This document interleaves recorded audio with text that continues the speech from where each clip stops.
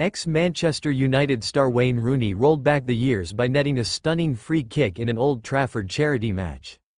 On Saturday afternoon, a host of Man United legends, which included the likes of Rooney, Michael Carrick, Dimitar Berbatov and Darren Fletcher took to the field at Old Trafford to take on Celtic legends. While the game finished 1-1 with Celtic winning on penalties, it was Rooney who produced the moment of the afternoon, the now 38-year-old produced a moment of magic to open the scoring at Old Trafford.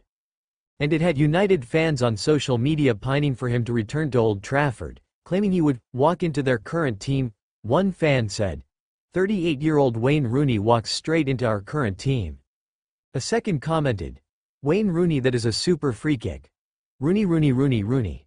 A third said, my god does Wayne Rooney still have it. A fourth wrote, Wayne Rooney retired in 2021, then came back and still managed to score a free kick before Mbappe. And a fifth said, Wayne Rooney has still got it. Rooney's time at United ended back in 2017.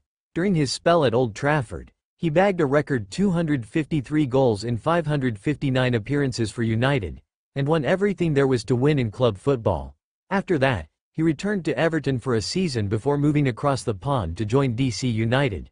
He would then return to England to play for Derby County, whom he would later go on to manage.